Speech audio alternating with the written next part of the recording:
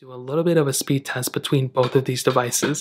Now the iPhone 12 has that Apple A14 Bionic chip inside of it with 4 gigabytes of RAM, where the Samsung Galaxy Note 9 has that Qualcomm Snapdragon 845 chipset inside of it with 6 gigs of RAM on that base model and then 8 gigs of RAM on the top tier model. So let's go and see which one is the faster phone between both of these. Okay, now that we're back, let me go ahead and clear all the apps in the background. As you can see, Note 9, easy to just swipe out of all of them. The iPhone 12 took a little second. So let's go and hop into all of them. Let's go and do phone calls. Three, two, one. And definitely, I think the iPhone 12 was faster there. Gesture wise, they I think the iPhone 12 may be a little bit smoother there. Messages, three, two, one. Okay. I don't really know which one. I think maybe the iPhone 12. Let's do their app stores. Three, two, one.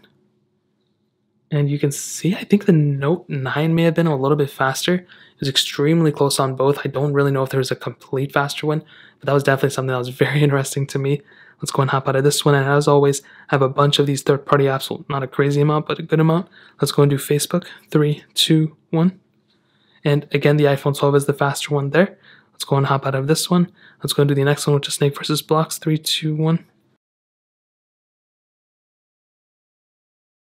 And you can see the Note 9 was slightly faster just by a little bit. That was something that was very surprising to me. Let's go and get into some gameplay and see if they glitch up at all. And I don't think they are. I think they're going to be roughly around the same. So as you can see, kind of have the same thing going on. So that's actually very, very good in my opinion. Let's go ahead and do whichever this one is, Paper IO 2. 3, 2, 1.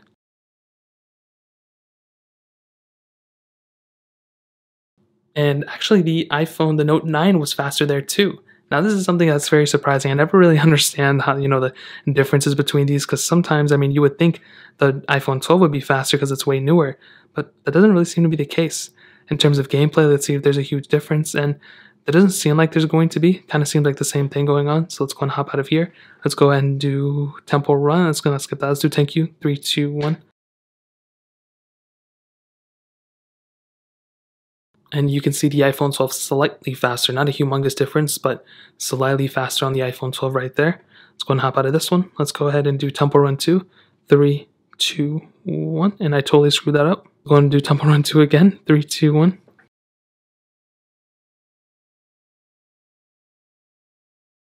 And you can see the iPhone 12 is slightly faster than the Samsung Galaxy Note 9. Again, not an insane difference, but definitely a noticeable one. As you can see, the Note 9 just got into it where the iPhone 12 was in it for a couple of seconds before.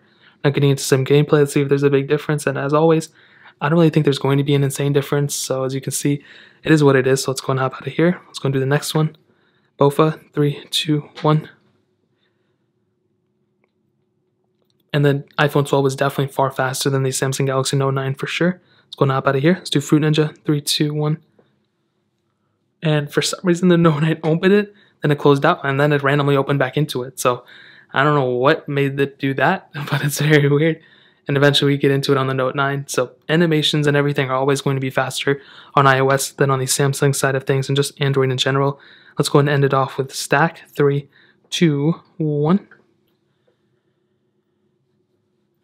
And as you can see, the Samsung Galaxy Note 9 was able to get into the app faster overall. So I'm kind of confused about this specific speed comparison. You know, I was expecting there to be a consistent winner every single time, and honestly, I was expecting the iPhone 12 to be the faster one every single time, but that didn't end up being the case. The Samsung Galaxy Note 9 was definitely a faster device in so many different cases. So I think that's honestly pretty interesting. I think for sure when it comes down to it, the iPhone 12 is probably the smoother one, but the Note 9 was faster in some cases. So that pretty much covers up the speed comparison.